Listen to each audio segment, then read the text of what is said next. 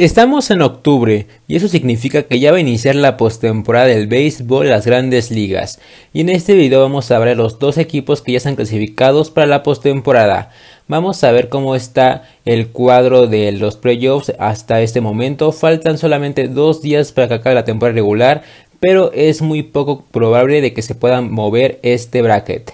Vemos a los Dodgers y a los Astros y vamos a comenzar hablando de los Dodgers. Los Dodgers vienen de, una temporada histórica, la mejor temporada en su historia, hablando de victorias en temporada regular, más de 110 victorias, un nuevo récord de franquicia. Este equipo, si no gana la Serie Mundial, va a ser un tremendo fracaso. Tiene una gran rotación con Julio Urias, Kershaw, Gonsolin y que se puede hablar de la alineación. Tienen a Freddie Freeman, Bellinger, Betts, eh, Max Monsi, así que este equipo si no gana la Serie Mundial será un fracaso. Y los campeones de la Serie Mundial, los Bravos Atlanta, que como regresaron, estaban 10 juegos atrás por la cima de la división este y justo acaban de barrer los Mets y ahora tienen en sus manos el poder de ganar la división Qué regreso de los Bravos, qué regreso de Acuña, que el año pasado se lesionó y no pudo jugar la postemporada, pero esa temporada que ya está completamente sano, va a intentar hacer otro viaje profundo a los playoffs para ganar un segundo título consecutivo. Y los Cardenales, este equipo puede ser una gran sorpresa en octubre. Es el último baile para estos tres jugadores, Yadi Molina, Adam Wingrat, y eh, Albert Pujols. Albert Pujols que pegó 700 home runs, anda jugando en un gran momento y además este equipo cuenta con Paul Goldschmidt y Nolan Arenado, que son dos muy buenos bateadores y, que, y también excelentes defensivos y pueden complicarle a cualquier equipo en octubre. Ahora vamos a hablar de los comodines. Con los con los con el nuevo acuerdo laboral va a haber tres equipos de comodín y no solamente dos. El primero son los Phillies de Filadelfia, que también tuvieron una temporada de altibajos, despidieron a Joe Girardi en mayo y quién hubiera dicho de que iban a pasar la postemporada.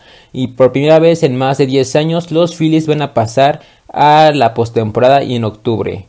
Ahora vamos a hablar de los Mets. Este equipo se esperaba mucho de ellos al inicio de la temporada.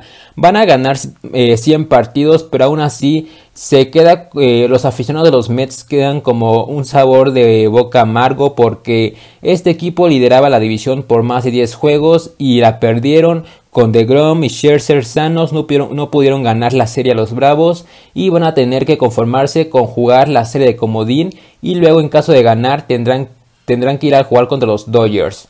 Ahora vamos a hablar de los padres de San Diego que llegaron a los playoffs sin su mejor jugador que es Fernando Tatis Jr. después de que fue suspendido toda la temporada por uso de sustancias prohibidas. Pero el canje de Juan Soto los ayudó bastante. El picheo, Yu Darvish, Crevinger, Snell, Manny Machado cargó el equipo y Juan Soto, cuando llegue la postemporada, Soto se va a encender y va a demostrar por qué vale más de 500 millones. Y ahora vamos con los equipos de la Liga Americana. Los Astros de Houston, que fueron el mejor equipo en la Liga Americana con el mejor récord. Después de que perdieron a Carlos Correa en la agencia libre, pensábamos que los Astros estaban acabados. Pero de nueva cuenta son el mejor equipo en la liga y con Justin Verán de regreso, este equipo va a ser muy peligroso en octubre y nadie, se va, nadie va a querer enfrentarlos porque este equipo tiene algo que nadie más tiene y es experiencia de playoffs.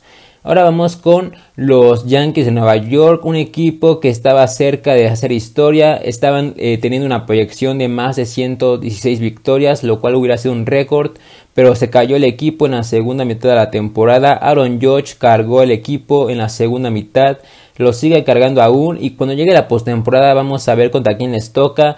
Pero también, si les toca contra los Astros, vamos a ver si pueden eh, eh, ganarles ahora sí, porque siempre los Astros los eliminan.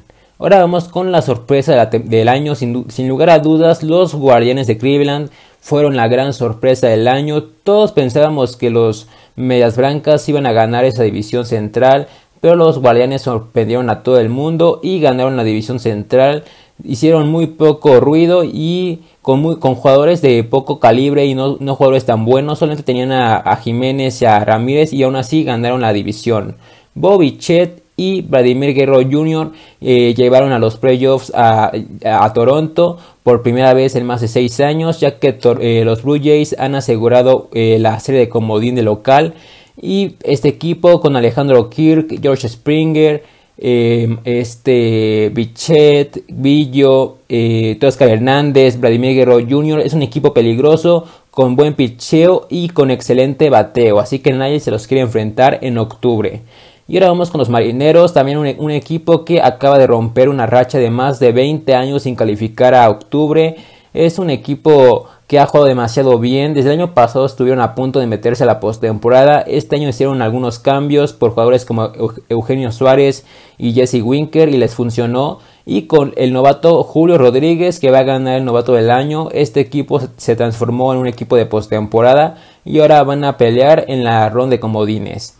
Y ahora vamos con el último equipo clasificado para la postemporada, los Tampa Bay Rays. Este es el tercer equipo de la división este que está calificado. Este equipo el año pasado fue el mejor eh, equipo en la liga americana, pero fueron eliminados en la ronda divisional. Y este año pueden hacer un viaje profundo como lo hicieron en el 2020 cuando llegaron a la serie mundial. Y es un equipo también muy peligroso, combates como el de Isaac Paredes y también el de Randy Rosarena. Espero que les haya gustado este video y nos vemos en la siguiente ocasión dando los pronósticos para la ronda de comodines que van a iniciar el día viernes. Nos vemos en el siguiente video.